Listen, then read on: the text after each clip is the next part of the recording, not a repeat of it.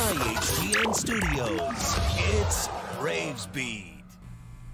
Hello, Braves, and welcome to our 15th episode of our second semester. I'm Julian Lambert. And I'm Griffin Wanker. So, Julianne, are you ready for all the senior end of year events? Yep. Although I'll be sad to be leaving the building for good, I'm going to miss all the teachers and my peers. How about you? No. Well, I'm ready to get this show going. Let's get into it. As you all know, this week has been Teacher Appreciation Week, and our teachers have been treated to different treats and activities throughout the week. Our teachers are the absolute best, and we at Braves Beat want to thank each and every one of you. You've got that right, Julianne. I have been so fortunate to have been taught and coached by some of the best educators in the land. Thanks to all of you. This past Wednesday was Cinco de Mayo, which is Spanish for 5th of May. It is an annual celebration in Mexico on May 5th. This date is observed to commemorate the Mexican Army's victory over the French Empire at the Battle of Puebla on May 5, 1862. The date has become associated with the celebration of Mexican American culture. These celebrations began in California, where they have been observed annually since 1863. Now, let's toss it over to our sports report. Dougie Mateo. Hello, Braves. We hope you like our new sports set. I'm Dougie Zhang. And I'm Mateo Lopez. I think this new set is pretty neat. Well, let's get on with this sports news for the week. First up is baseball. The boys had a weird schedule last week. Their game against Finneytown last Monday was rained out in the fifth inning. However, the Braves were up 7 to nothing. They played a doubleheader last Wednesday against Finneytown at home. They finished their first game winning 10 to nothing. The second game, they won 19 to 1. Luke Hammond hit a home run, and Matthew Kopfer went 2 for 3 with a triple, earning himself a nomination for the Cincinnati Enquirer Small School Baseball Player of the Week. Congratulations, Matt. They then played Wyoming at home and lost 9 to 7 in a very entertaining game. Luke Hammond hit a grand slam in this game. They take on Wyoming again Wednesday, May 5th. The baseball senior day is Friday, May 7th against Franklin. Please come out and support our seniors Scott, Luke, Leo, Luke, Jake, Harris, Matt, Zach, and Dougie. Our boys track and field teams competed in the Taylor Invitational last Wednesday and placed fourth overall. Top finishers were the boys 3200 relay team Will Ford, Charlie Johnson, Jonah Waltz, and Coleman Worsler, second place. Jonah Waltz was second in the 1600 meter race. Luke Folke was second in the 400 meter run. Coleman Worsler second in the 800 meter run. Liam Morris second in the 3200 meter run. Third place finishes for Dylan Holleran Thompson in discus and Bowie Irvine in the pole vault. Congratulations to our boys track and field team. Our Indian Hill boys lacrosse team lost a tough game at Marymount last Friday, 12 to 10. Great effort by our battling Braves.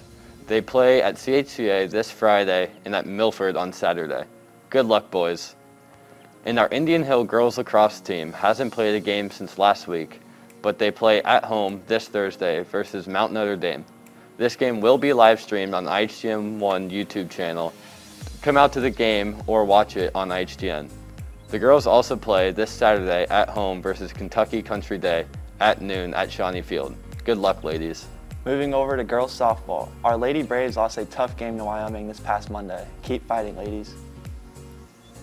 Our Greater Cincinnati number one rated boys tennis team won 5 to nothing over Covcath last Wednesday. Then they lost a close match to Division One St. Xavier on this Tuesday 2 to 3. The tournament season is coming soon, so good luck to all of our brave athletes. Well, that's all the sports news we have for this week. Let's toss it back to you at the news desk.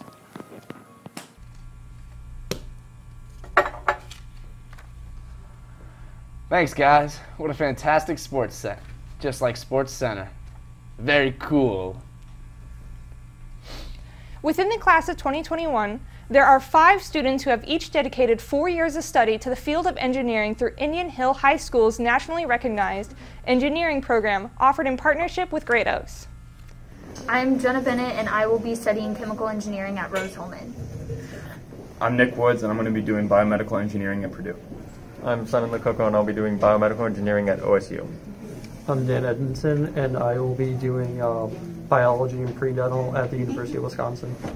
I'm Kevin Lewis and I'll be studying computer science at the Ohio State University.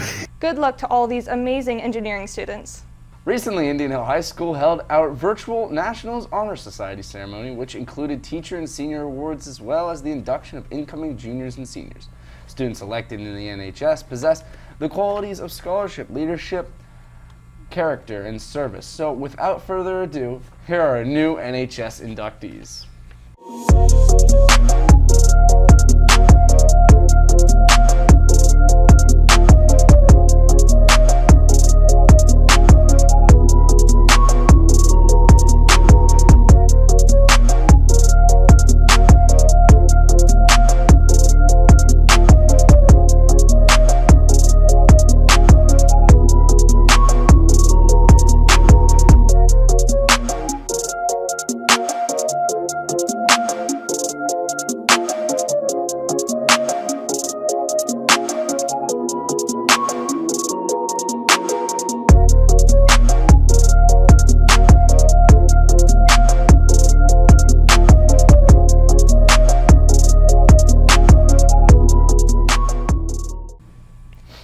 Congrats to all those Braves. We are also excited to honor Mr. Dupps as the honorary teacher inducted into NHS.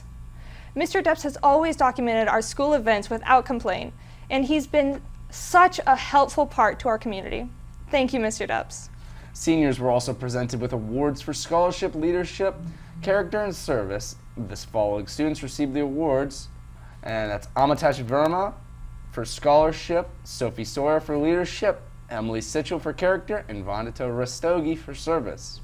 Finally, we want to welcome our officers for the 2021 and 2022 school year. For our president, we have Sanibel Betts. For our vice president, we have Maggie Shoney. For our secretary, we have Annie Isfording. And finally, for our treasurer, we have Annie Joy. Congratulations, Braves. We know you will all do great.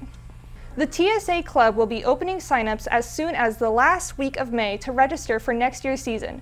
Please go to the link in the description to learn more about the events and the club.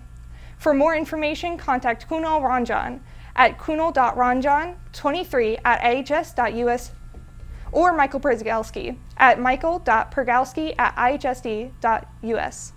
We are excited to show you guys new features of our very own cafeteria.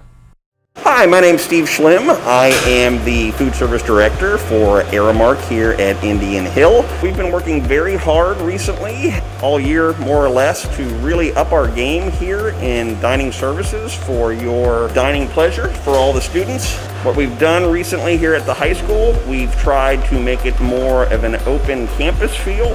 And this week, we really got things rolling. We have unveiled a fresh made to order deli with quite a bit of options for you, including things like pretzel bread and ciabatta bread and fresh croissants. We have converted our pizza station to a by the slice pizza, jumbo 16 inch pizzas that every day we freshly bake from a new pizza oven that you can see being made. We have also introduced a chef attended action station so that our entrees are customizable and visual and you can see them being made right in front of your eyes. We brought a chef on board as part of our team. His name is John Shu. He is preparing those items and making them uh, from scratch every day. The grill is now assembled for you to order. We're no longer wrapping sandwiches in foil and having them ready for you to grab. We're assembling them as you order them so they're fresh. And we offer big chocolate chip cookies and the way we're presenting them is they stay warm from the oven. And the last thing I'd like to touch on is had a great meeting recently uh, with Principal Damadeo and he passed along some great feedback he's received from the students. I'm available uh, every day in the cafe should anybody want to stop by and give me your thoughts and just let me know what you think of how we're doing. Um, but other than that, I just thank you for your time and look forward to seeing you in the in the cafe. Along with those new features, we are excited to introduce NutriSlice. It's a great web-based tool that provides a wealth of information regarding what we are serving at our schools. This includes menu information, ingredients, nutrition, and allergens. There is also a filtering option that allows you to seek out items to your specific needs. Don't forget, juniors, ticket sales for prom for you guys open on Tuesday, May 4th on EasyPay. There are currently 70 spots available, and if you plan on going with a date, purchase those tickets together to ensure that you both will be attending. There will be a cutoff at 180 guests. Tickets will be filled on a first come, first serve basis. If capacity is exceeded, you will be contacted and refunded your money.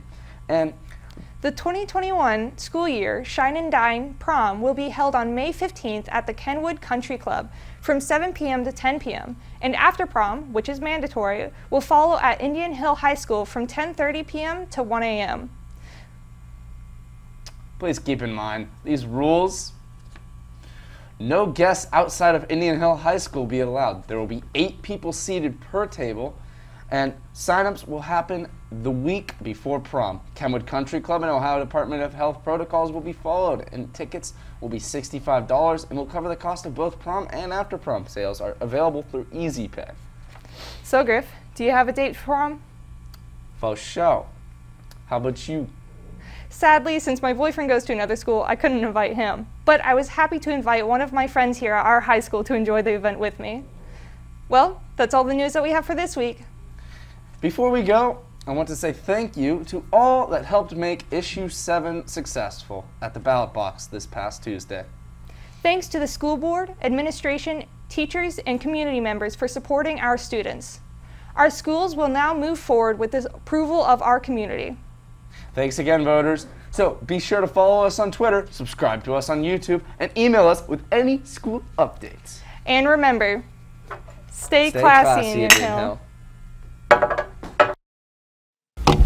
Hello, everybody. My name is Dylan Condor. It's the show again. Um, the guest we had on flaked last second, so we have some random people on today. So um, let's welcome them on. Izia Langila Cola. Is that it? Yeah. Okay. There's a mic right there. Clip it onto your collar. Okay. Okay. All right. So have you done anything like influential in the school? Have I done anything influential in the school? Um, well, you know, Dart Wars. Dart Wars? No. Dart Wars? You don't know what Dart Wars is? No. Really? No. I can't tell if this is a bit. Anyways, I shot Cooper Weiler, feeling kind of accomplished about that one, feeling kind of cool, yeah. All right, have you done anything like, like anything that you'd be proud of to put on like a resume? Like, are you like a president of something? Oh, yeah. I am currently the junior vice president, and next year I will be the student body president. Oh. Uh... Nah, this question sucks. I just actually took my first few steps uh, just last week. Just last week. Yeah. So that was your time walking over here. Oh, it was it was a little rough. The backpack kind of weighed me down, but you know I'm getting better one step at a time. Wow. All right. You know I am a master at my craft,